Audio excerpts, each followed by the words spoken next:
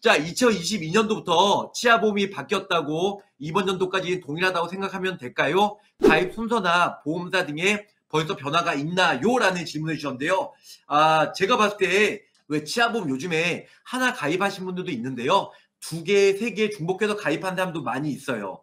왜 그런지 아세요? 일단은 암보험이나 뭐 입원비, 수술비 같은 경우는 내가 나중에 암에 걸릴지도 안 걸릴지도 모르잖아요. 솔직하게. 물론 확률적으로 33%라는 뭐 정말 어마한 그 빅데이터가 있기 때문에 암보험 같은 경우는 많은 사람들이 가입을 하고 보상을 받는데 아무래도 치아보험은 내가 5년 동안에 고지상에 포함이 안 됐다면 제 스스로가 알잖아요. 치아 상태가 안 좋은 거, 뭐 양치지하다, 뭐 시린다, 풍치, 아니면 뭐 피가 난다, 아니면 입냄새가 난다. 그럴 때 치아 보험을 하나든 뭐 두 개든 세 개든 중복해서 가입을 하신 다음에 나중에 면책 기간이 90일이 있잖아요. 그래서 90일 지나서 치과 가서 치료받고 그 나중에 뭐 필요하시면은 뭐 유지하셔도 되지만 불필요하면 해지하시고 그래서 일단은 치아보험은 그래요. 보험료 납입했던 것보다 나중에 보험금을 받으셔야 유리한 거잖아요. 그렇기 때문에 내가 보험료 냈던 거, 그다음에 보험금 받은 거 계산기를 한번 두드린 다음에 한번 본 다음에 이득이 되면 그때 중복해서 몇 개를 가입하시면 좋으실 것 같아요. 그래서 저 보호망이 일단은 유튜브 시작한 지는 한 4년 정도 된 것 같아요. 횟수로는 정말 많은 사람들이 라이브 방송에도 들어오셔서 정말 감사한데요.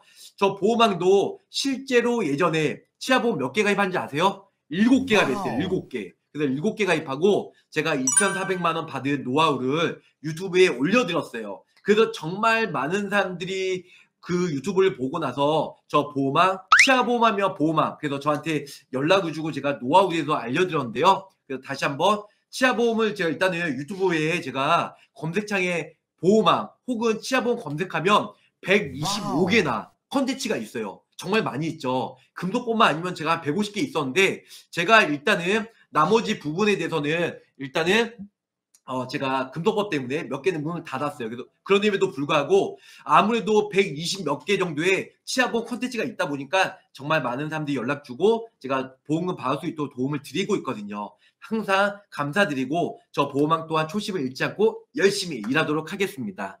자, 그래서 2022년도에는 어떻게 바뀌냐? 일단은 금토법으로 인해서 제가 특정 회사를 얘기할 수는 없어요. 하지만 그 전에 순서에 맞게끔 제가 A사, B사, C사 이렇게 준비를 해드렸거든요. 중간에 B사. 근데 이 B사가 일단은 어깨 누적이 11월 달부터는 왜 우리가 보철 치료 100만 원이면 임플란트 100만 원, 뭐 요즘엔 브릿지가 이제 보철 치료에 50%가 나오잖아요. 50만 원. 또 틀리는 100만 원 이렇게 나오기 때문에 보철 치료가 100만 원 협회 누적이 잡혀야 되는데 이 A사 같은 경우는 일단은 이 12월 달부터 바뀌었어요. 그래서 보철 치료 100만 원 넣게 되면 임플란트 100만 원, 브릿지 50만 원, 틀니 100만 원, 250만 원을 협회에 등록을 해버려요. 그러면은 이 A사만 가입을 시키면요. 나머지 S사나 다른 뭐 이렇게 뭐 다른 뭐 B사 같은 경우 이럴 때는 중복해서 가입을 못 한다는 거예요. 그래서 저희가 보존 치료 그 점부터 뭐 축소가 된다. 그 보존 치료 뭐 크라운 50만 원 정말 많이 가입되는 이 A사 있죠. A사는 이번 달부터는 11월 달부터는 이제 저희가 판매하기가 좀 어렵고요. 그래서 대신 다른 H사로 그래서 저희가 새로 런칭된 회사로 일단은 임플란트 시에 200만 원까지 보장이 되고 보존 치료는 40만 원까지 보장이 돼요. 그리고 또 업계 누적은 임플란트가 보철 치료는 300까지 가입이 되다 보니까 그 전에 A사, B사, C사 이렇게 가입을 해드렸는데 B사만 빼고 또 다른 B사로 제가 넣어가지고 그렇게 플랜을 완벽하게 정말 퍼펙트하게 해놨어요. 그래서 일단은 중복가입이 2022년도부터는 A사, B사, C사 이렇게 얘기도 솔직히 잘 모르실 거예요. 저도 막 얘기하고 싶지만 저 보호망은 네, 심의 규정을 준수합니다. 네. 그래서 가장 중요한 건 한 주민보호나 한 사람당 저희가 가입을 하다 보면 뭐 실손보험이나 아니면 정액담보 조회를 하게 돼요. 근데 치아보험 같은 경우는요. 보철 치료가 250만 원 업계 누적이요. 그리고 보존 치료 보존 치료와 가면 뭐 크라우, 인네이, 온네이 여러 가지가 포함이 되겠죠. 이런 부분들은 80만 원까지만 딱 80만 원까지만 가입이 되는데 저 보호망은 이제 순서에 맞게끔 어깨 누적을 피해 가지고요. 이제 보철 치료 같은 경우는 어깨 400만 원, 250만 원 아니에요. 400만 원까지 딱 왁구를 맞춰서 이제 제가 만들어냈고요. 보존 치료는 업계 누적을 안 봅니다. 그렇게 해서 제가 플랜을 만들었어요. 만들었기 때문에 이런 식으로 A사, B사, C사 순서에 맞게끔 가입하시면 제가 좀 전에 설명드린 대로 만약에 내가 2년 뒤에 병원에 갔어요. 근데 내가 만약에 임플란트를 했어. 임플란트 했으면 병원비가 거의 100에서 통상 150 정도 나올 거예요. 저 때는 그때 80만 원 나왔거든요. 오스템.